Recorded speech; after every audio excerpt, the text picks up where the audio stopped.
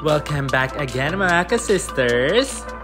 Another cooking show na naman po tayo. Alam niyo na, pag nasa province, ang sarap magluto-luto at kumain. Siguradong tataba tayo. Ayan ang mga ingredients para sa ating seafood Thai fried rice. Oh my God, kasi favorite na favorite ko to. Yung nagpunta kami ng Thailand, mga ka-sisters. Sobra kahit kayo pag natikman nyo to at uulit-ulitin nyo talaga siya as in, hakataba. Ayan, prinito muna natin yung mga prawn or hipon. Binatan ko na rin po yun pala. So, unang gagawin na ipiprito natin ang mga hipon. And syempre, ang, ang gagamiting kanin. Don't forget dalmasen. Make sure malinis ang kamay. Ako po naghugas ng kamay ng sobra mga ka-sisters. Don't worry. And next natin ang egg. Tatlong egg yung gagamitin ko for today's video. Ayan, let's put some eggs. Mahinang apoy lang din mga ka-sisters ha, para hindi masunog yung itlog. And then, sisira-sirain nyo siya ng ganyan. Diba? Parang yan pa lang. Ang sarap na. so, sirain nyo lang ang egg. Para siyang magiging scrambled, mga ka-sisters. Then, ang next natin dyan ay ang bawang or garlic. Pwede, pwede rin lagyan ng sibuyas, pero kasi ngayon wala kami dito sa bahay, kaya hindi ko siya nalagyan ng sibuyas. Carry na yan. So, next natin ang tomato or kamatis mga ka-sister, gayahin nyo to. Napakadali lang nito. Sobrang sarap niya talaga. Seafood Thai fried rice. Diyos ko, yung nasa Thailand ako, parang tanghalian and gabihan ko yan. Puro fried rice. Pwede rin kasing pork, may chicken fried rice doon, seafood fried rice, pero mas natatakam talaga ako sa seafood. Ayan, sorry, nalagay ng asin and then paminta, onte. Well, syempre hindi ko kopyang-kopya ang Thailand. Syempre, sila pa rin yan. Sila yarn. Tamang imitation lang po tayo, mga ka-sisters. Pero, feeling ko naman, slight nagagaya natin. And then, ilagay na natin ang kaning lamig na hinalukay at piniga-piga. Minsan nga pwede na kayo magpiga dyan ng asin ng onti lang para medyo mahalo na yung asin.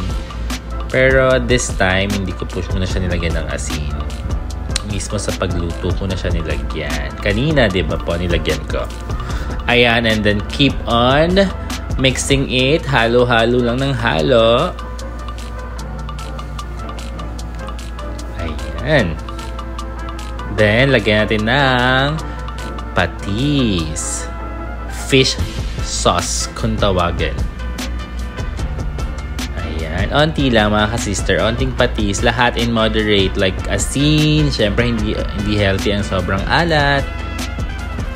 Kaya in moderate lang. Pati ang patis. First time ko nga lang malaman na pwede pa lagyan ng fish sauce ang sangag. Siyempre, Thailand's way. Siyempre, lagyan natin yung hipon kalagitnaan para medyo maluto pa siya kasi 'di ba kung naalala nyo medyo mabilis lang natin siyang niluto kanina. Well, ang hipon naman ay mabilis talagang maluto. So, keep on halo. Halo ng halo, mga ka-sisters. Nagugutom na ba kayo? Ba? Nakakagutom na.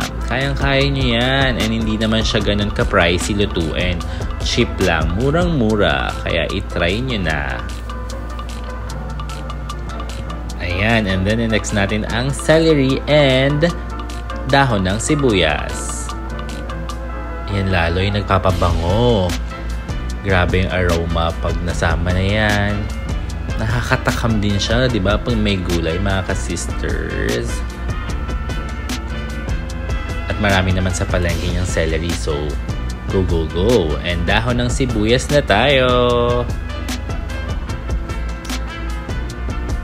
This time, medyo patapos na tayo. So, keep on halo lang. Tutuin, initin ng rice. Yan. So, top view tayo ngayon. Once again, here, I'm here pa rin sa Pandi, Bulacan. Sa mga Bulakenyo dyan, shout out to all the people here in Pandi, Bulacan. Siling bata. Sabi nga, Bulacan! Tayo ng pipino, cucumber. Ang sarap din kasi siyang nasa side dish siya. Parang ganon. Sarap siyang ihalo once na kinakain na. Kaya wag na wag mawawala ang pipino sa Thai fried rice. Kasama palagi yan sa kanila. And eto na, let's eat! Ang sarap! Come on guys! Kain po tayo! Thanks for watching! Please don't forget to like, share, and subscribe! Bye-bye!